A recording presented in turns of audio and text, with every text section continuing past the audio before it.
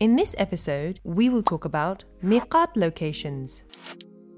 Miqat locations are special areas at which a pilgrim must wear ihram. There are five locations of miqat.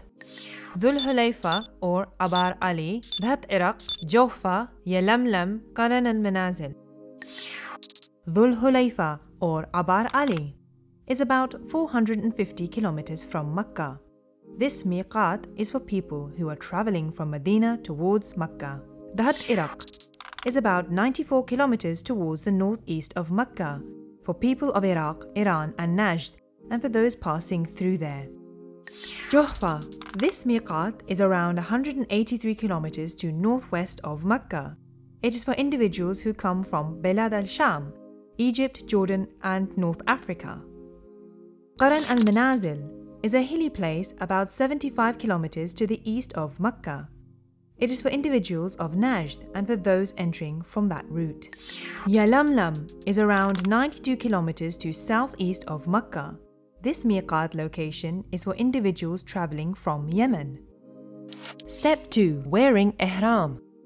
Ihram for men consists of wearing two white seamless cloths with one wrapped around the waist, reaching below the knee, and the other draped over both the shoulders and tied at the right side.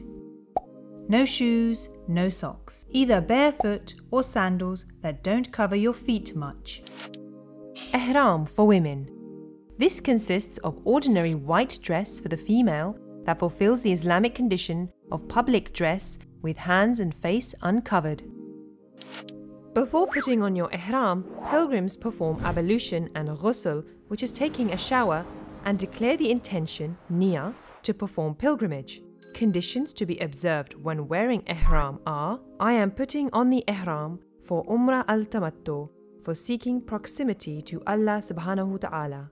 Reciting talbiyah Labbaika Allahumma labbaik لبيك لا شريك لك لبيك إن الحمد والنعمة لك والملك لا شريك لك لبيك It is recommended to repeat talbiyah as much as possible.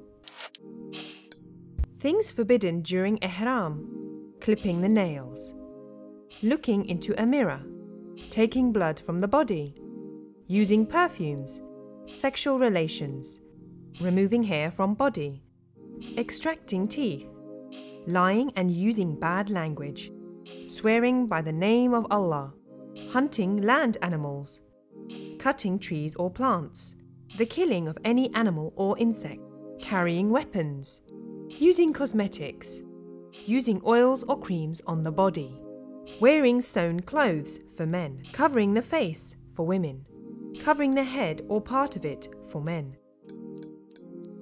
The ihram is meant to show equality of all pilgrims in front of God.